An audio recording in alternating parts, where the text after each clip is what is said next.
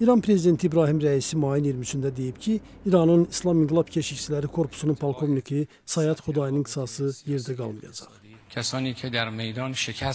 Döyüş meydanında Suriyadakı şiə müsəlmanlarının müqəddəs ziyarətgahlarını qoruyanlar tərəfindən məğlub edilənlər bu cür hücumlarla iflasa uğradıqlarını göstərirlər. Reutersin məlumatına görə İslam İnqilab Keşikçiləri Korpusu mayın 22-sində bir zabitinin paytaxt Tehranda evinin qarşısında öldürülməsi barədə məlumat yayıb.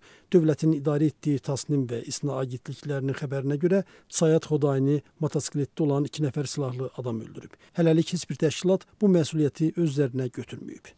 İSNA agentliyi bu işdə şübhəli bilinən İsrail Kəşfiyyat Xidmətinə məxsus şəbəkə üzvlərinin artıq İnqilab Keşikçiləri Korpusu tərəfindən həbs edildiklərini xəbər verir. Fars xəbərlər agentliyi İran Kəşfiyyat Xidmətinə istinadla bu ilin aprelində də İsrail kəşfiyyatına məxsus daha 3 nəfərin həbs olunduqlarını bildirir. Müstəqil mənbələrlə bu məlumatları yoxlamaq mümkün olmayıb. İsrail hakimiyyəti və ya bu ölkənin kəşfiyyat xidməti də hələlik Sayad Xudayının öldürülməsinə və kəşfiyyatçıların həbsinə münasibət bildirməyiblər.